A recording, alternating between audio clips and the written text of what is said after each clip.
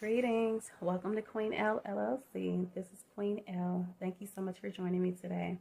So today's video is another Astrology 101 video, and this one is regarding the 12 houses of the zodiac wheel, your birth or natal chart, um, however you would like to refer to it, but this is your astrological chart. So um, it's specific to um, a person, but you can pull a chart for um, today's date and see exactly where all of the planets fall on this um, circular chart. And then you can use that to your benefit or if you're doing a reading for someone else. So stick around and let's talk about the houses. Okay, so I am going to post um, the handy little picture of the chart here. So um, like I said, it's typically referred to as a birth or natal chart. That's N-A-T-A-L. And um, you can get your birth or natal chart for free by um, going to um, astro.com. There are many different sites that you could go to. So you could just um, search for um, a free natal chart and you can use the calculator. Now, the information that um, you would need in order to have that free chart pulled up for you would be um, the time that you were born as well as the actual location that you were born. So um, if you know those two things, then um, whatever site you choose will be able to pinpoint where um, everything was in the solar system at the time that you were born. So um, what is the point of all of this?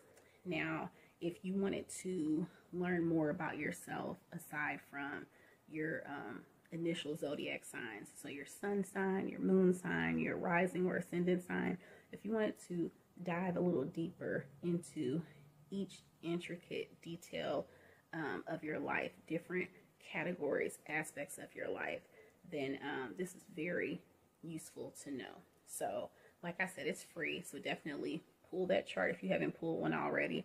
And when you see the chart, this um, circle, it is divided kind of like a, a pie um, or a pizza into 12 slices. So each of the slices, um, just to stay on, on with that analogy, each of the slices um, represents a different house of astrology or um, or on this wheel, so to speak. The way the houses are numbered, um, you go in a counterclockwise way around the wheel. So you would start at around 9 o'clock, and then um, that would be that pie slice or section would be house number one or the first house. And then you go around in a counterclockwise manner until you reach the house that's right above that first one, and that would be the 12th house. Okay, so let's talk about what all of those houses represent. Now, the first house, that is yourself. That is, um, it represents your personality, the traits that you show to others, even without being aware that you're doing that. Um, it also represents new starts, fresh beginnings. Um, also, your rising or ascendant sign, when you pull that natal chart, it will be in that first house, okay? And um, it's essentially the start of you. So again, for anyone who hasn't seen my um, video on the sun, moon, and rising signs, I will link that above. So your rising or ascendant sign is the sign that was on the horizon, um, specifically the eastern horizon at the time that you were born. Okay, and so it's the essence of who you are. Now, the second house, and again, we're going in counterclockwise fashion. The second house represents your possessions, it represents your financial security, your emotional well being, as well as your physical surroundings.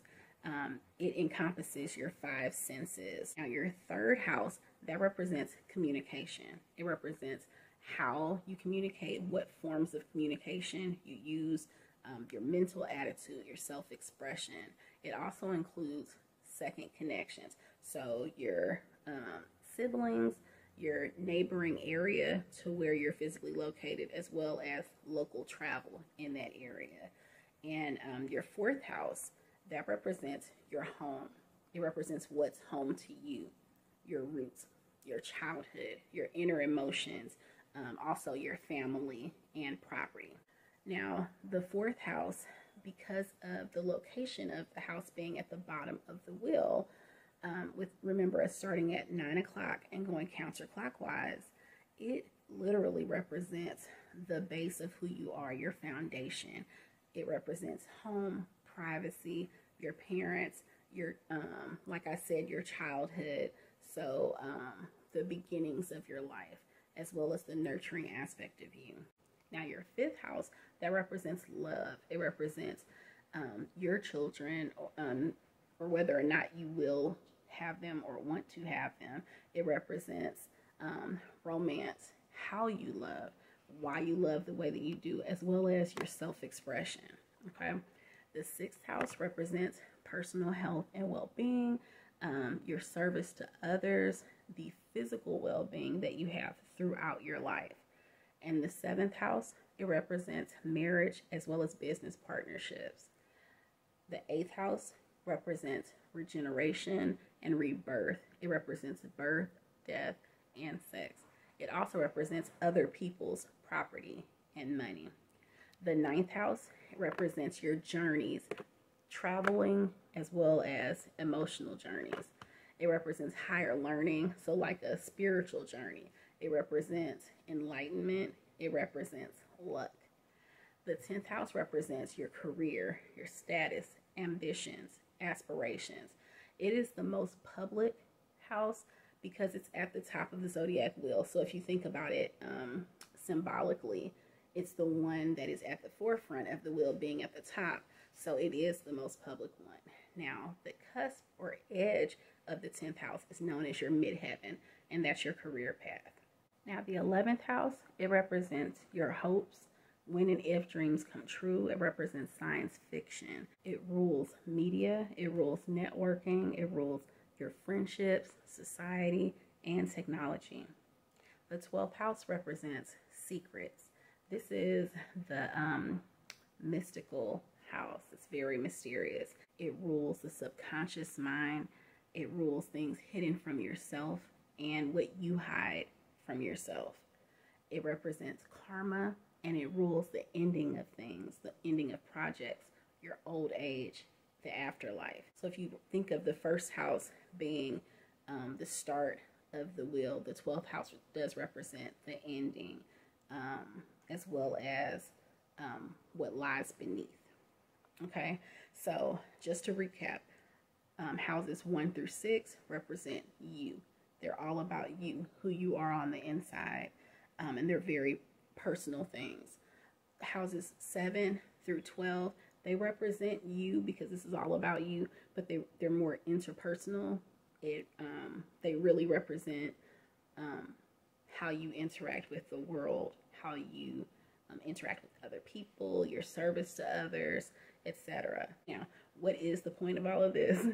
the point of all of this is when you have your chart pulled and you're able to look at what um, planets are in um, different houses, what zodiac signs are in different houses at the time that you were born, it lends a little more information to why you are the way that you are and kind of what makes you tick. So, um, for instance, the house that's all about marriage and partnerships, um, intimate relationships, depending on what sign you have in that house or what planet. Let's say Venus, um, you find out when you look at your chart, your Venus is in that house. Well, that would mean that um, what you enjoy most and where you place a lot of value is in the things involved with that house. So in this um, example, marriage and intimate relationships. Or if your Venus is in the house that represents um, well being and your service to others, then that would, you know, it would make sense. So, a lot of the things that you'll um, find out when you look at your natal chart, some of the things may be enlightening, like okay, so this all, it makes sense why I feel the way that I feel or why I am the way that I am. Some of the things, it will be like, well, yeah, that's no surprise to me because I really am like that. It's essentially a confirmation, but um, you can use it to your benefit.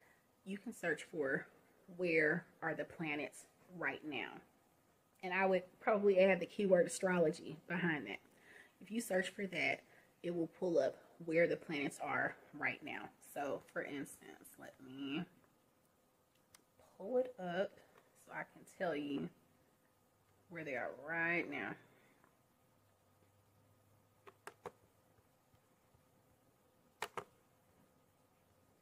Okay, so right now, um, we have the, and I may include an image if I'm able to include an image of what they look like right now.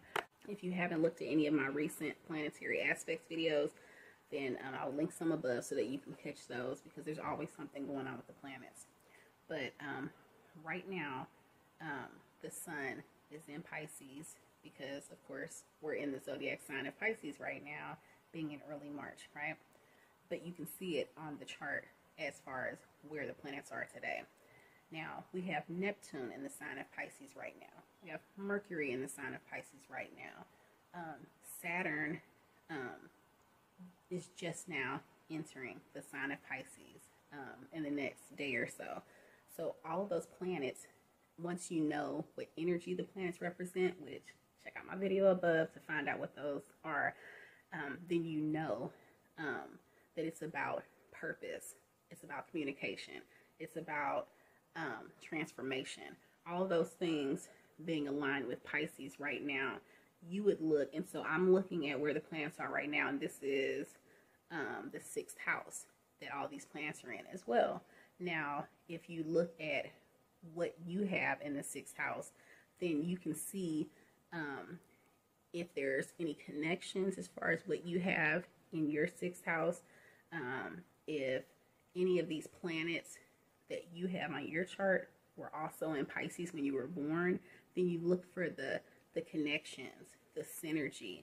So you would be someone who would have um, you would have a stronger feeling of the energy that they provide because of your connection personally versus the next person. Okay. And once you really dig into this, then you're able to make predictions for yourself. You're able to um, look ahead at future dates, upcoming dates, so that you can see, okay, well, where are things going to be? You know, I have something big coming up in a week. Where is everything going to be a week from now so that I can, you know, see like would that possibly work in my favor or not? Or if you don't feel like doing all that legwork, then you can watch videos for somebody like me or um, many other astrologers that are out there so that you can just get some perspective. And so it's really insightful. It is factual. It's um, mystical, but it's not. It's not um, anyone grasping at straws or um, something that you're not able to see for yourself as well. Um, I do tap into my intuition and the messages that the spirit guides give me, and I'm, I'm thankful for that intuition. Um, but with regard to astrology, it's right there for everyone to see. So I hope this has been helpful. Um, stay tuned for more videos like this. If you like my Astrology 101 videos or Tarot 101 videos, hit that subscribe button. Okay, peace. Ashe.